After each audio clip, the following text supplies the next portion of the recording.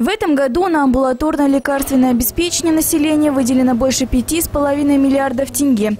Из них более 4 миллиардов тенге – это средства республиканского бюджета.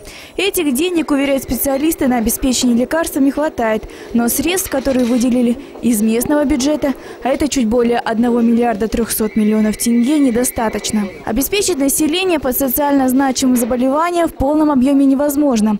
Остаток средств на сегодняшний день – 30 миллионов тенге, но общая сумма выписанных рецептов превышает 65 миллионов.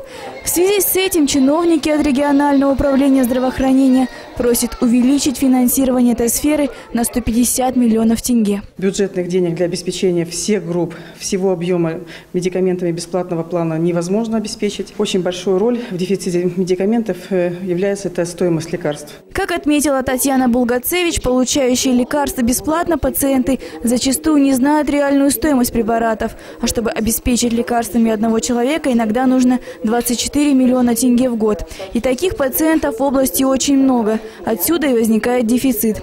Татьяна Булгацевич считает, что нужно пересмотреть систему подходов в отношении обеспечения групп пациентов. Я считаю, должна быть какая-то э, рандомизация групп, то есть этим мы будем давать 100%, этим будем давать 50%, там будет категория там, дети, инвалиды, которые будут обеспечиваться полностью, потому что они социально защищены. Кроме высоких цен на лекарства, отмечают в управлении здравоохранения, средств не хватает еще из-за того, что нуждающихся в бесплатных препаратах с каждым годом становится все больше. Их выявляют на скринингах. В этом году мы на, получаем те лекарства, которые были запланированы в апреле прошлого года. Естественно, если рост заболеваемости в среднем сахарным диабетом на 20%, острым инфарктом там, на 25% и так далее, в связи с тем, что проводят скрининги, идет выявление активное и так далее.